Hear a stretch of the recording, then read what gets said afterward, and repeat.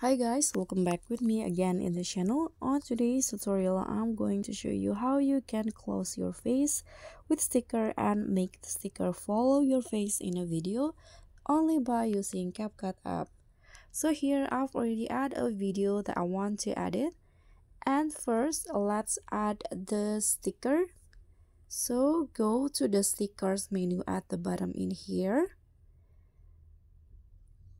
Okay, so for example here i'm going to add okay this stickers right here. Click on check icon.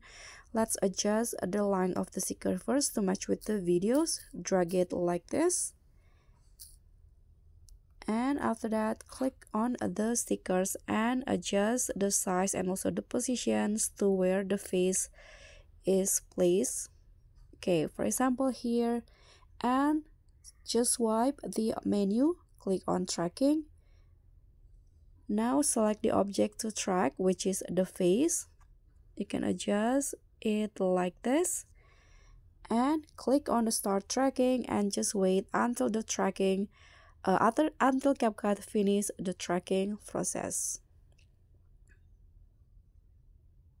Okay, so now the, the tracking is completed.